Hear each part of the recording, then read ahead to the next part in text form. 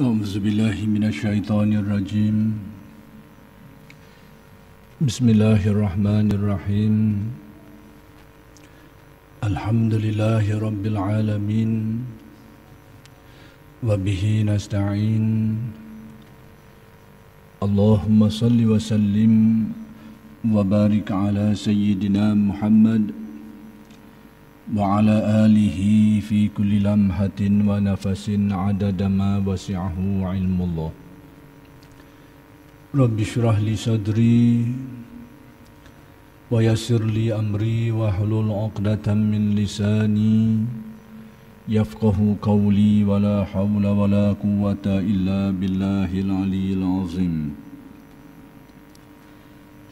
إلهي أنت مقصودي ورضاك مطلوبي. أعطني محبتك ومعرفتك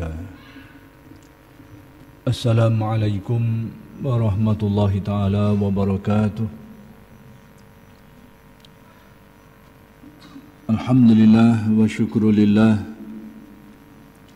Segala puji bagi Allah Yang telah memberikan hidayah dan taufik Mudah-mudahan kita sentiasa dikurniakan Allah hidayah dan taufik sidang pendengar yang dimuliakan kuliah Masjid Abidin pada malam ini ingin menyempurnakan kalam hikmat yang ke-14 berkait dengan pandangan mata hati terhadap fenomena alam semesta.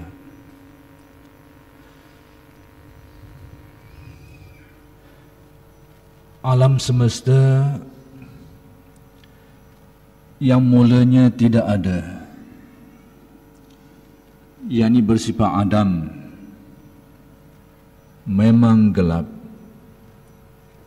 Gelap sebagai suatu tamsilan ketidakwujudan sesuatu itu. Sedang yang menzahirkannya sehingga berupa kenyataan hanya kekuasaan Allah padanya. Alam ini daripada yang berstatus tidak ada yang ditamsirkan sebagai kegelapan itu hanya wujud dan boleh dilihat, boleh nampak adalah semata-mata kerana kekuasaan Allah Subhanahu wa taala. Kerana itu sesiapa yang melihat benda alam ini kemudian tidak terlihat olehnya kebesaran kekuasaan Allah yang ada pada benda itu sebelum atau sesudahnya. Bererti ia telah disilaukan oleh cahaya yakni pandangannya itu tersilau oleh cahaya yang ter, yang tersangat terang sehingga tidak ternampak empunya cahaya itu sumber bagi cahaya itu. Yakni sebagaimana kita disilaukan oleh cahaya matahari sehingga terlindung terdendeng terhijab dan tidak nampak ain zat atau diri matahari itu. Maka seperti itulah orang yang melihat fenomena alam semesta ini tapi tidak terlihat Allah padanya. Maka dia seumpama orang yang disilaukan oleh cahaya matahari. Bagaikan ia melihat cahaya yang kuat lalu ia mengira tidak ada bola yang menimbulkan cahaya itu lantaran kerana terlalu terangnya cahaya itu sehingga seseorang itu terdendeng dan tidak melihat kepada mentol yang mengeluarkan cahaya itu. Kerana terlalu terang.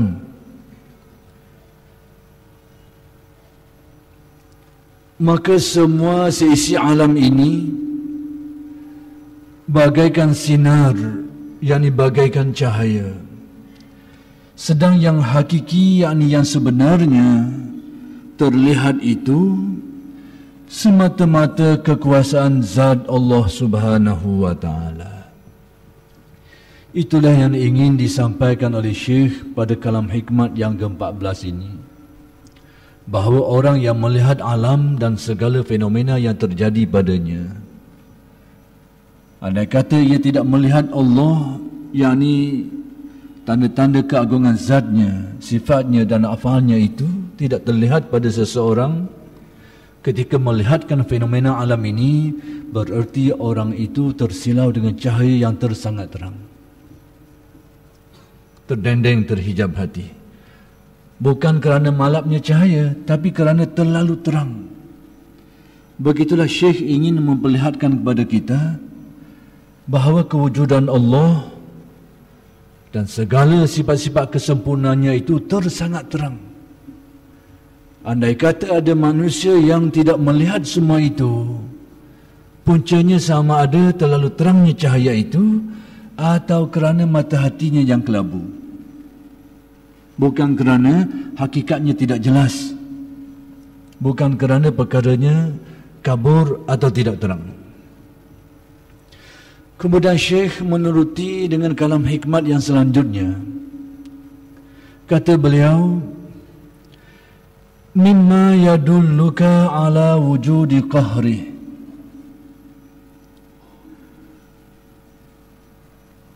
Mimma yadulluka ala wujudi qahrihi subhanahu an hajabaka anhu bima laisa bimaujudin ma'ahu Di antara bukti-bukti yang menunjukkan adanya kekuasaan Allah yang luar biasa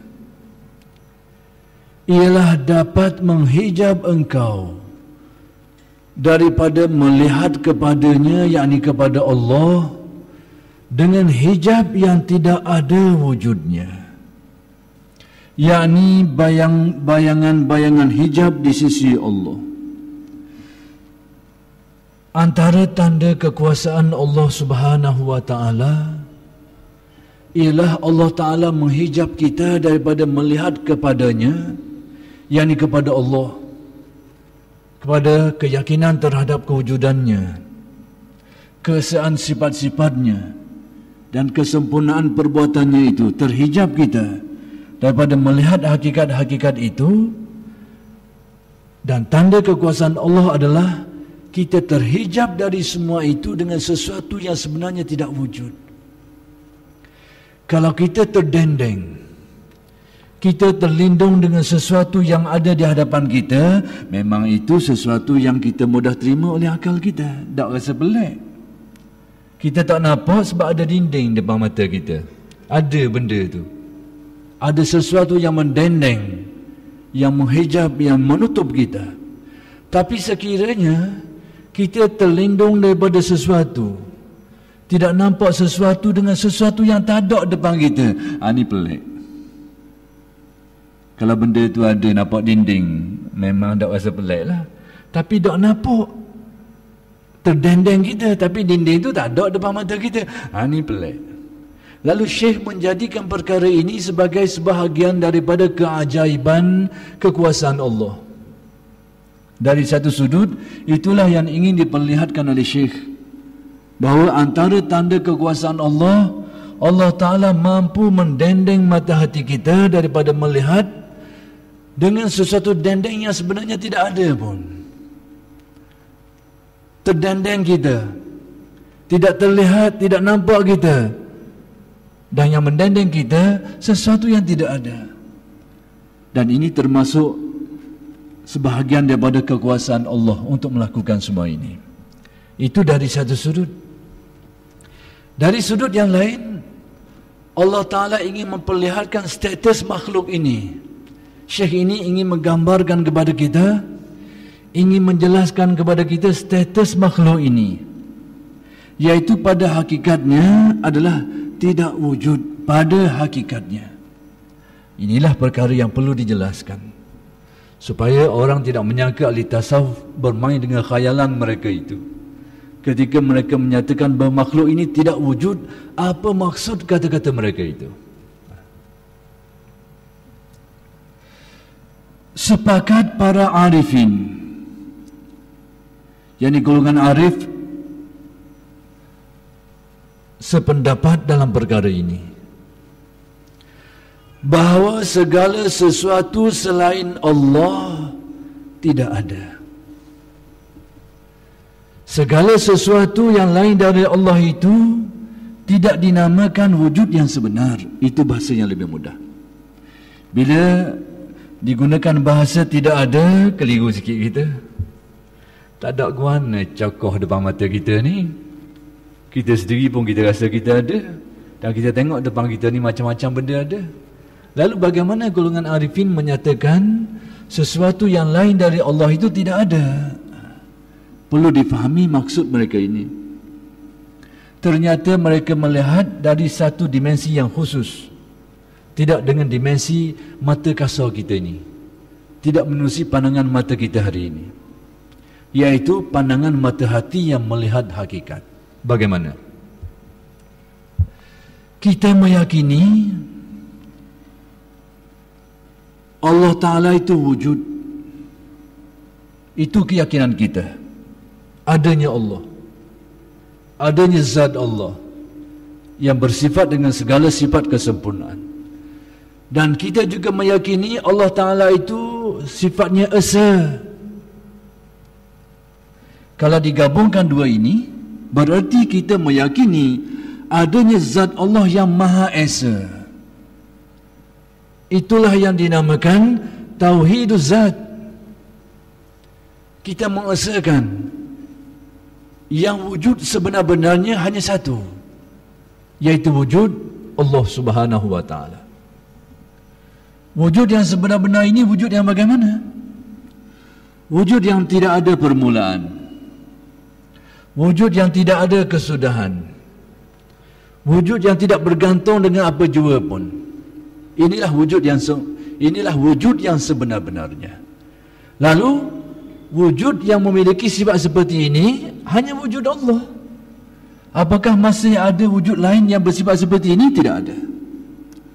Maka atas dasar inilah para arifin menyatakan sesuatu yang lain dari Allah tidak wujud. Dengan erti wujud mereka itu tidak memiliki sifat wujud seperti wujud Allah. Wujud yang memiliki sifat-sifat seperti tadi hanya satu. Yaitu wujud Allah subhanahu wa ta'ala. Yang lain tidak wujud dari segi ini. Bukan dari segi yang kita tengok dengan mata kita ni dari segi hakikat bahawa wujud yang bersifat demikian hanya satu wujud Allah Subhanahu wa taala. Yang lain wujudnya ada permulaan. Segala makhluk termasuklah kita semua para malaikat syurga neraka dan makhluk-makhluk lain semuanya itu ada permulaannya dan ada kesudahannya. Sekalipun syurga neraka itu dijamin oleh Allah kekal, itu atas jaminan Allah. Namun pada potensinya dia akan binasa. Dia ada potensi untuk binasa. Kekalnya itu atas dikekalkan Allah. Dikekalkan. Berbeza. Sesuatu yang kekal, sesuatu yang dikekalkan lain. Jadi seluruh makhluk ini ada permulaan, ada kesudahan dan bergantung dengan yang lain. Inilah hakikat kewujudan seluruh makhluk. Maka kewujudan seperti ini dari dimensi pandangan hakikat menusi penglihatan mata hati yang memandang hakikat bahawa dilihat semacam tidak ada. Semacam tidak ada. Maka itulah maksud kata-kata mereka itu bahawa sesuatu yang lain dari Allah tidak ada. Itu maksudnya. Yang ini tidak memiliki kewujudan yang sebenar-benarnya. Maka pandangan inilah yang dikatakan wahdatul wujud. Wahdatul wujud. Kita sekarang ini kita meyakini Allah Taala itu wujud dan esa. Dan kita mengesakan Allah. Yang wujud seperti itu hanyalah Allah. Tidak ada yang lain. Tapi pandangan mata kasar kita masih melihat kepada makhluk masih merasai kewujudan makhluk tapi dalam keyakinan kita kita meyakini yang hakiki wujud hanya satu Allah Tapi yang kita rasai, yang kita pandang masih ada wujud lain, wujud makhluk. Lalu keadaan seperti ini namanya apa? Kalau begitulah keadaannya, inilah yang dinamakan tauhiduz zat. Seperti makam kita sekarang. Kita mengesahkan Allah atas keyakinan kita bahawa yang sebenar-benar wujud hanya satu hanya Allah. Tapi dalam pengalaman hidup, menusi panca indera kita, perasaan kita, kita masih dapat mengesan kewujudan makhluk. Kita masih melihat makhluk depan kita ni. Adalah depan kita ni ke tak ada? Mesti ada depan kita ni. Ni cangik-angik belakang kita, depan kita ni. Ha, ada belakang ni. Jadi kita melihat dengan panca indera kita. Kita boleh sentuh, kita boleh rasa. Tapi dalam keyakinan kita meyakini yang sebenar wujud hanya Allah. Maka inilah taraf yang dikatakan tauhiduz zat. Tapi bagi ahli rohani yang meningkat kerohaniannya, meningkat kesucian hatinya, sehingga mengalami suatu perasaan kesedaran yang sangat tinggi hanya menyedari hatinya itu yang sebenar wujud hanya Allah Subhanahu wa taala yang lain pada pandangan rasa hatinya pada penglihatan mata hatinya bukan pada penglihatan matanya pada penglihatan mata hatinya pada pandangan zuk rasa hatinya melihat semacam sudah tidak ada lagi maka mereka ini dikatakan berada pada martabat wahdatul wujud Inilah wahdatul wujud. Bukan berarti Allah Ta'ala itu menjelma dalam diri makhluk. Bukan berarti manusia sudah bersatu menjadi makhluk. Bukan itu maksud wahdatul wujud. Yang itu adalah tafsiran orientalis. Orientalis. Tafsiran pengkaji-pengkaji yang terpengaruh dengan orientalis. Lalu mereka menafsirkan wahdatul wujud dengan mana tadi. Padahal ahli tasawuf sendiri tidak faham seperti itu. Jadi kalau ada orang mengatakan wahdatul wujud itu sesat, kalau mereka terjemah wahdatul wujud dengan makna manusia bersatu dengan Tuhan ataupun Tuhan menjelma dari manusia dalam diri manusia, betul lah. Betul menurut faham mereka itu. Tapi wahdatul wujud dan tasawuf bukan itu. Ha. Jadi menyalahkan wahdatul wujud seperti yang dikenali di dalam di dalam ilmu tasawuf itu tidak benar. Karena maksud mereka bukan seperti itu. Ha, jadi tengok orang yang mengatakan wahdatul wujud ni sesat, tengok dia faham cara mana. Kalau dia kata dengan makna hulul dan ittihad, memang betul yang mereka kata. Tapi ahli tasawuf tidak faham seperti itu. Tak ada pun seperti itu dalam tasawuf. Dan tidak ada ahli tasawuf pun yang kata seperti itu. Termasuk Ibn Arabi dan termasuk tokoh-tokoh lain yang dikatakan orang berfaham seperti itu tidak? Sebenarnya kalam mereka itu yang tidak difahami. Bahasa mereka itu yang tidak difahami. Isyarat mereka itu yang tidak difahami. Pada sisi mereka sangat jelas. Lalu ada orang kata pula dah sebab apa duduk guna bahasa-bahasa simbolik pelik-pelik tak guna bahasa direct-direct ni apa nak khabar terang selalu begini-begini? Ha, begini nak khabarnya. Rohani manusia ini bila semakin halus semakin mendalam, gaya bahasanya semakin halus semakin banyak kiasannya. Ini fenomena naluri manusia. Orang kau cerdik kau banyak berkiah. Hak jadi betul-betul direct bahasa. Ha. Itulah yang saya bandingkan dulu tu.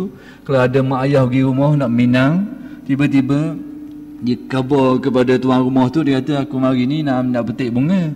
Mak ayah tuan rumah ni jadi tom dom ambil lah bunga mana-mana nak tu. Bunga tak ayang ke? Bunga tu ambil lah. Ambil bakal pun apa. Jadi tom dom ha. jadi manusia ini akal manusia kalau semakin halus semakin mendalam semakin banyak berkias. Demikian juga rohani manusia. Satu. Yang kedua gaya bahasa-gaya bahasa seperti ini ada dalam hadis Nabi. Tak payah tanya ahli tasawuf lah sebab menggunakan gaya bahasa yang sangat simbolik ini. Hadis Nabi banyak mengungkapkan gaya bahasa seperti ini. Antaranya yang biasa kita dengar, yang selalu orang dengarlah hadis mengenai taqarrub. Bila Nabi menjelaskan fa idza ahbabtu kuntu sam'ahu alladhi yasma'u bihi. Apabila aku kasih kepada hambaku akulah yang menjadi pendengarannya. Bahasa ini kalau diterjemah secara literal secara zahirnya bermaksud apabila aku kasih kepada hambaku akulah yang menjadi pendengarannya. Seolahnya kita menjadi Tuhan Tuhan menjadi kita. Gaya bahasanya begitu. Seperti itukah yang dimaksudkan? Tidak ada orang berani berkata seperti ini. Ahli syariat ke? Ahli hakikat ke? Tidak ada orang berani menterjemah seperti itu Kalau ahli hukum selalunya akan men menakwil maksud ini, takwil. Tak nak elok daripada takwil. Memalingkan makna asal kepada makna yang lain tidak boleh nak elok. Itu kita heran sikit lah. Ada orang cuba nak mengenangkan, mengenengahkan suatu faham. Katanya tidak ada takwilan dalam Al-Quran. Semuanya direct belaka. Ha. Cari menyakit belaka. Cari menyakit menghadapi masalah masalahnya macam mana?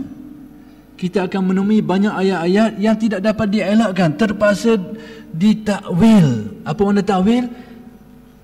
Mengelakkan makna zahirnya itu kepada makna lain yang di sebaliknya. Itu makna takwil. Tak nak elok benda ni.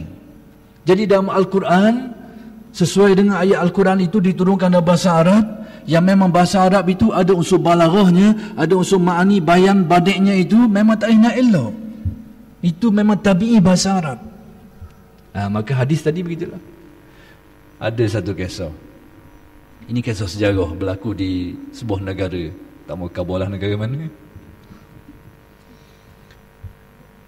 Ada uh, suatu apabila suatu gerakan menguasai negara ini, maka sebahagian ulama yang tidak sependapat dengannya, kalau ulama itu agak pintar, dibunuh.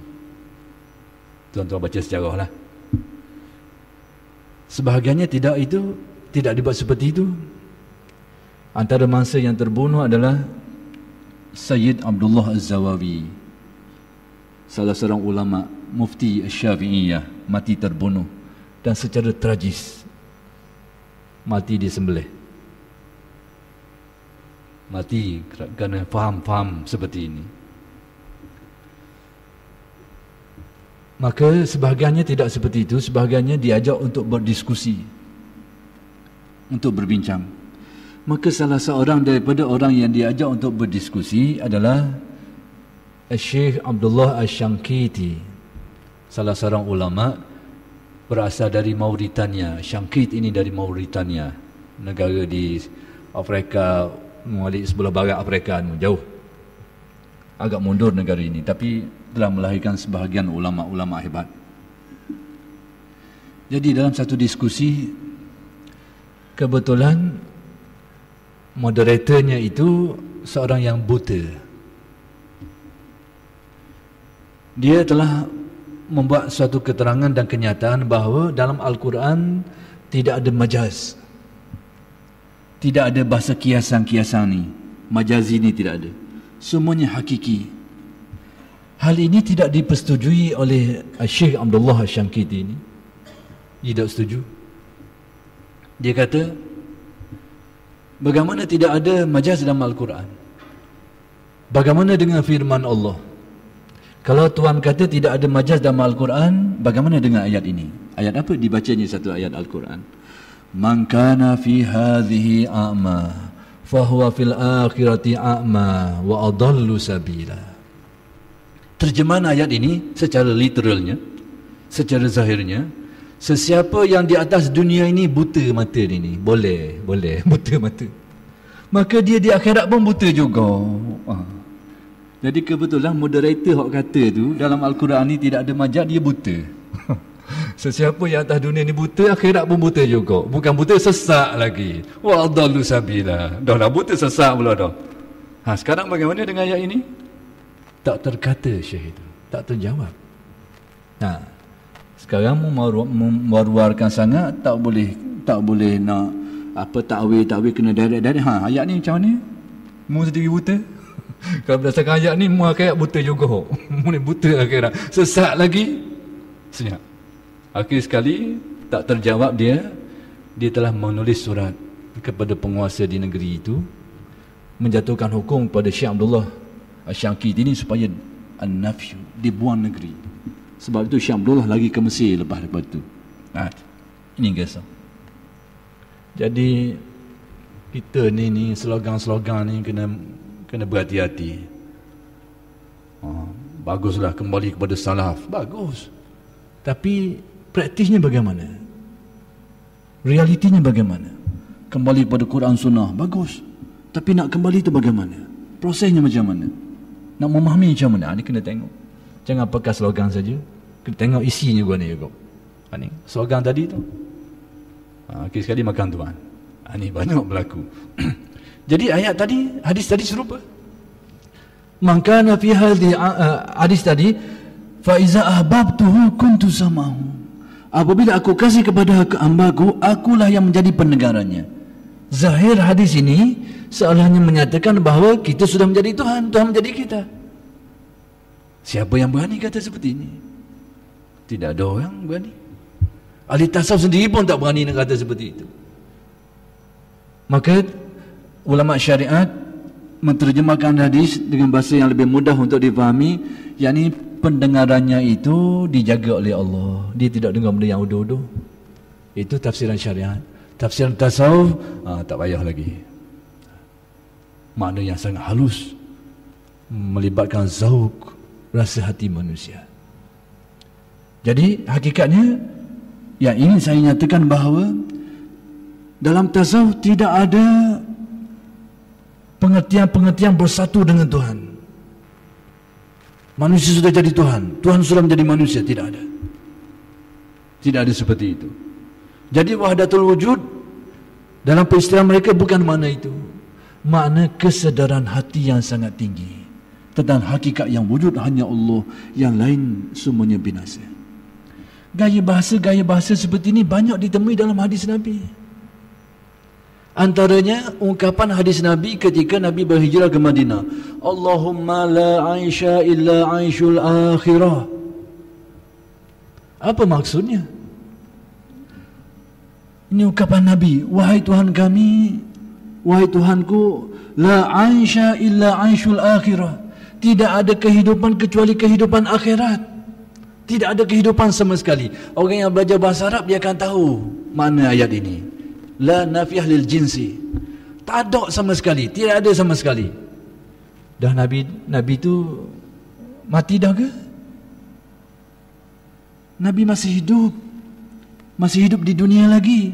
Tapi kenapa Nabi ungkap la aisha illa aishul akhirah? Tidak ada kehidupan kecuali kehidupan akhirat. Ha ini sekarang ni bagaimana? Kehidupan yang Nabi sedang hidup itu bagaimana? Ha, nak menyatakan pandangan Nabi melihat hakikat seolahnya terbuang terhapus dari pandangan Nabi kehidupan dunia macam tak ada apa lagi dah. Kehidupan sebenar hanyalah kehidupan akhirat. Seperti itulah wahdatul wujud. Rohani yang melihat kepada hakikat kenyataan. Ada orang tanya pula, dah buat amdir benda-benda gini ni. Oh, buat amdir benda-benda gini, boleh amdir. Hati hanya melihat Allah, tak ada melihat makhluk lagi, dah buat amdir. Boleh buat bangunan. Boleh buat kereta benda-benda gini. Ha. Ini selalu orang tanya benda-benda gini ni. Dia kata Ali Tasau ni berkhaya. Duk main dengan fikiran dia, duk main dengan zuk dia. Ha? Pun dia benda-benda gini ni. Ha. Ternyata Inilah ehwal yang menunjukkan tahap kemuncak kesucian hati manusia. Penanda aras bagi sucinya mata hati manusia bila tercapainya wahdatul wujud ini. Dah perlu apa? Inilah suatu keadaannya orang tidak dipengaruhi lagi oleh hawa nafsunya. Tidak dipengaruhi oleh tarikan-tarikan duniawinya. Dalam bahasa yang mudah, imannya sudah mantap tidak tergoyang oleh apa jua pun. Bagi yang sampai ke darjah itu. Itu maksudnya.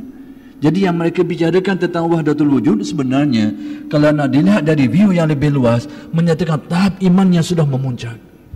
Sehingga terbuang makhluk teguh pandangan hatinya makrifatnya. Itu maksudnya. Kerana kita ni belum tentu lagi. Orang Allah sikit the being kita pakai serban ke pakai jubah tak tentu ha, tak tentu lagi kita selalu kalah dengan harta dengan perempuan selalu kalah kalau pakai serban kadang-kadang eh, boleh terbang Dengan molek terbang sebang serubang kena kena molek. Termasuk saya juga lah ni. Ha, dok tentu lagi ni. Colok depan mata tengok seorang. Eh, berat. Dok jamin saya. Ha. Jadi ahli tasawuf yang membicarakan itu orang yang maksud wahdatul wujud begitu keadaannya. Orang yang hatinya tidak terganggu oleh bisikan ini. Itulah maksud mereka. Wahdatul wujud, wahdatul wujud nak menyatakan hierarki hati yang sudah bersih. Dan kita nak menuju situ tujuan itu tujuan mantap keimanan kita. Kenapa perlu semua ini? Kenapa perlu? Minggu lepas sudah saya bacakan suatu riwayat hadis yang tidak saya sempurnakan. Betapa hal-hal kejiwaan ini berkait dengan kehidupan masyarakat. Sangat berkait. Dari segi mana? penyempurna kepada hadis yang sebahagian sudah saya sebut minggu lepas Nabi menyebut suatu rangkap kenyataan kelompok manusia yang muncul di saat-saat manusia berlakunya perpecahan berlakunya persengketaan akan timbul suatu watak manusia yang bagaimana yad'una ila Allahi wa laisu minallahi min syai' akan ada kelompok yang mengajak manusia ke jalan Allah tapi mereka sendiri hambar lain mereka sebut, lain mereka buat. Lain mereka tunjuk depan orang, lain mereka pula kat belakang. Akan berlaku seperti ini. Kenapa watak-watak ini timbul? Ini penyakit ini, penyakit ini. Wahdatul wujud tidak tercapai. Jadi orang mempelajari ini untuk mencapai wahdatul bukan apa untuk supaya mudah-mudahan hatinya itu mantap dibersihkan Allah, tidak dipengaruhi oleh tarikan-tarikan. Itu wahdatul wujud. Cuma bila kita tengok pada skop yang kecil itu tak nampaklah kepentingannya. Tapi kalau dilihat dalam view lebih luas ah, ini. Maksudnya dalam kehidupan kita andai kata terutamanya melibatkan orang-orang yang berkepentingan dalam masyarakat. Sebab itu satu ayat yang khusus dalam Al-Quran disebut wala tuti' man aghfalna qalbahu an zikrina. Jangan kau turuti orang yang kami lupakan hatinya dari ingat kepada kami. Maksudnya apa? Sebab itu soft-soft kepimpinan sangat perlu ini. Kalau kita memimpin orang, jiwa kita berkecamuk buruk, buruk akibatnya. Nauzubillah min zalik. Sebab itu dipersyaratkan di dalam pimpinan ilmu tasawuf. Ini kalau dalam ilmu tasawuf, syarat bagi mursyid itu antaranya ini. Tercabut hubbud dunia dari dalam hatinya. Sebab itu ahli tasawuf yang jujur tak berani nak mengaku sebagai mursyid, tak berani. Hak berani mengaku siang malam siang malam tu, ha, hak tu colot depan sikit. Yang rabuk terus ke dia. Ha.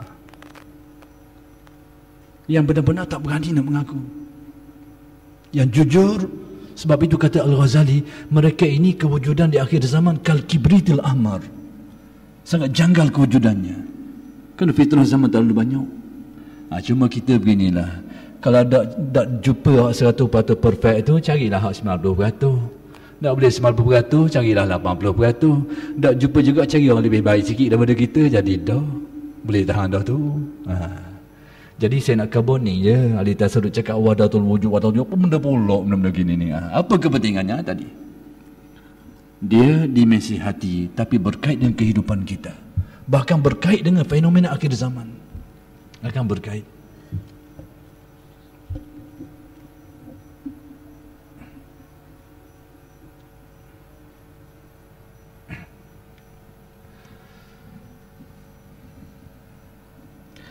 Artinya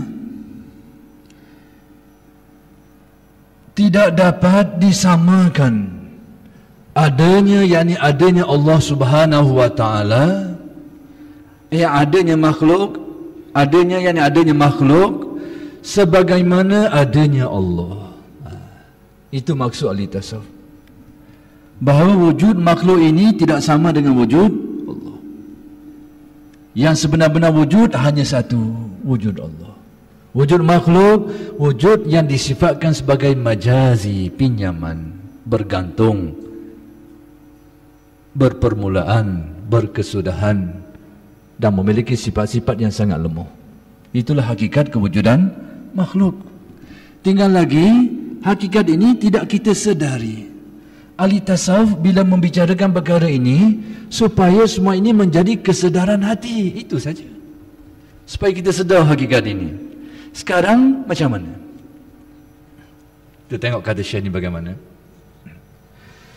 Sebab adanya alam tersebut sebab adanya alam terserah kepada kurnia Allah. Adanya makhluk ini semata-mata bergantung kepada Allah Subhanahu wa taala. Itu keyakinan kita, tapi bukan perasaan kita. Perasaan kita lain.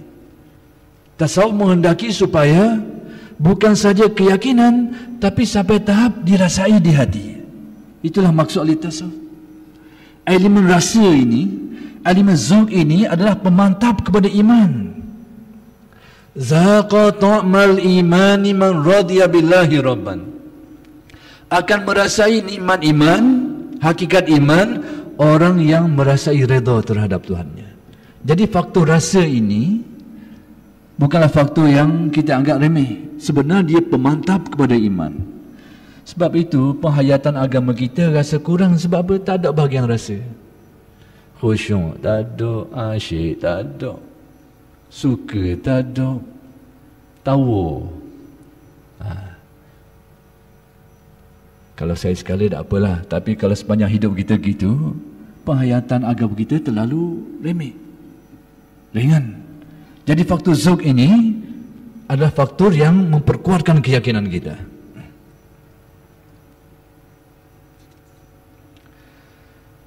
bagaikan adanya bayang yang tergantung selalu kepada benda yang membayanginya. Maka demikianlah ahli tasawuf dalam persoalan ini selalu membandingkan dengan sesuatu dengan bayang. Sudah kita terang perkara ini beberapa kali tapi baik diulangi. Inilah bandingan yang selalu dibuat oleh ahli tasawuf. Yang kerananya juga ahli tasawuf itu diremehkan orang, dipandang berkhayal. Ha. Ataupun tidak pijak di bumi nyata. Ada orang kata dia kata, "Mu tengok ahli tasawuf tu kata." Dia kata makhluk ni macam bayang pula dah. Oh, itu. Padahal hanya bahasa kiasan saja.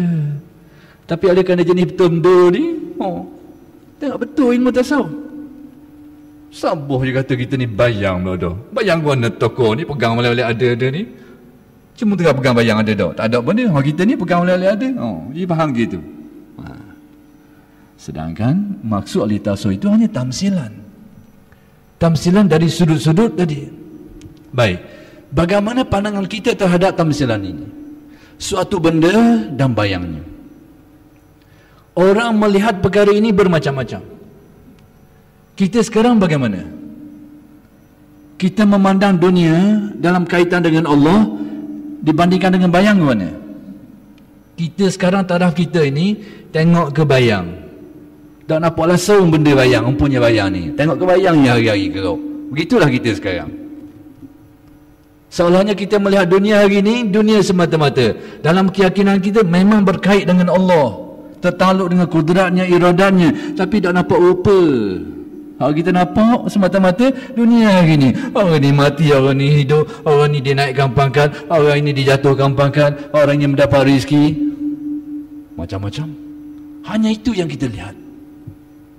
Berarti kita hanya melihat bayang Tidak melihat kepada empunya bayang Tapi ada dalam keyakinan Bukan tidak ada dalam keyakinan Tapi tidak terlihat pada skrinnya Skrin mata hati kita tu Tak nampak ah, Tak nampak situ Ada orang Dia melihat bayang Dan melihat empunya bayang Tapi pandangannya Angle-nya lebih banyak ke bayang Berat ke bayang?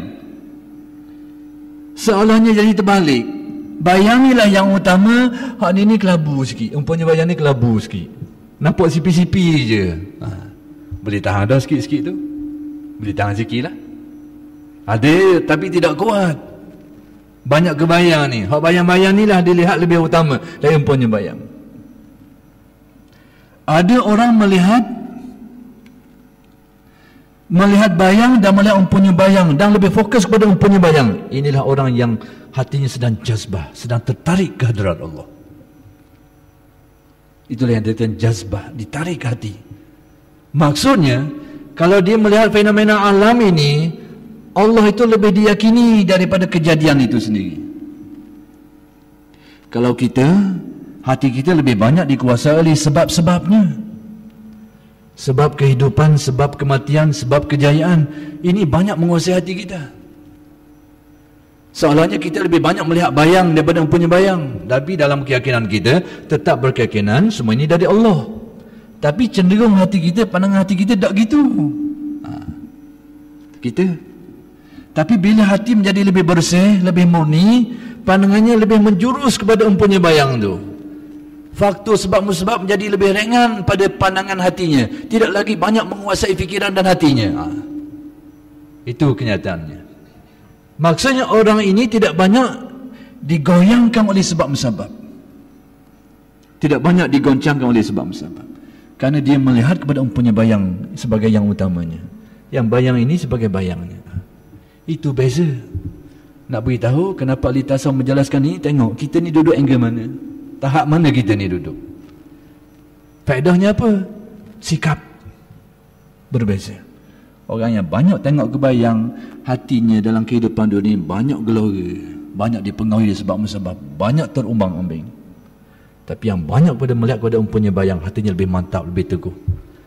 Kekurangan sebab musabab tidak akan menggoyangkan dirinya. Ha, itu biasanya. Tapi oleh kerana waktu sangat terhad, kita ini insyaAllah semua ini akan disambung lagi pada minggu-minggu yang akan datang. أقول قولي هذا وأستغفر الله العظيم لي ولكم السلام عليكم ورحمة الله تعالى وبركاته